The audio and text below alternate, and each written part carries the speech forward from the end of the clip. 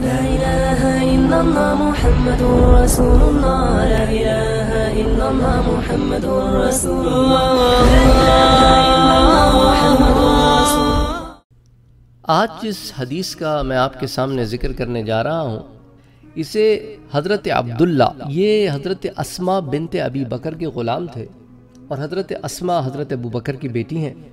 تو وہ ایک طویل روایت بیان کرتے ہیں کہ مجھے اسما رضی اللہ تعالی عنہ نے حضور کے جبہ مبارک کے متعلق بتایا اور فرمایا کہ یہ حضور اکرم صلی اللہ علیہ وآلہ وسلم کا جبہ مبارک ہے اور پھر انہوں نے ایک جبہ نکال کر دکھایا جو موٹا دھاری دھار کسرا کے بادشاہ کی طرف منصوب ایک جبہ ہوتا تھا یعنی اس کا نام تھا کسروانی جبہ۔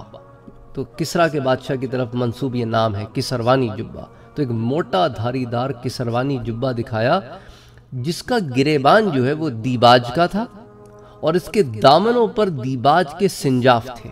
حضرت اسما نے فرمایا، یہ مبارک جبہ حضرت عائشہ کے پاس ان کی وفات تک محفوظ رہا۔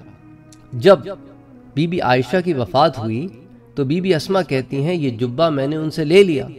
یہی وہ مبارک جبہ ہے جسے حضور صلی اللہ علیہ وآلہ وسلم پہنتے تھے۔ سو ہم اسے دھو کر اس کا پانی بیماروں کو پلاتے ہیں اور اس کے ذریعے شفا طلب کی جاتی ہے۔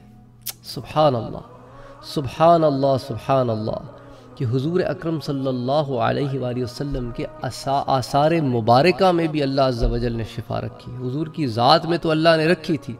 جس چیز نے حضور کو چھو لیا، اس میں بھی آثار آ گئے۔ اس روایت کو امام مسلم نے روایت کیا ہے، اللباس و زینہ کتاب کا نام ہے مسلم شریف میں۔ اسی طرح اس کو امام ابی داود نے اپنی سنن میں، انہوں نے بھی کتاب اللباس میں باضابطہ باب قائم کیا ہے۔ اور اسی طرح امام بحقی نے السنن القبرہ میں، اسی طرح شعب الایمان میں، اسی طرح ابو عوانہ نے المسند ابو عوانہ میں۔ اور اسی طرح ابن راہویہ نے المسند ابن راہویہ میں اس روایت کو نقل کیا ہے۔